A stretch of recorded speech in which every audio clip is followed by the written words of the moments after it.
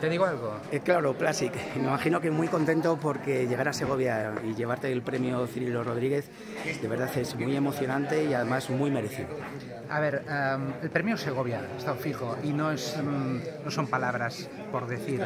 Ahora, también es em, un gozo y una responsabilidad, porque sabes que a partir de ahora tendrás que exigirte igual o más que antes.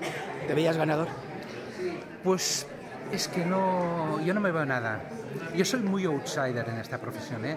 voy mucho a mi bola y no me presento nunca a ningún premio, me han presentado a este, es la segunda vez, uh, he venido corriendo porque Segovia me encanta y el, la calidez del premio, pero realmente yo creo que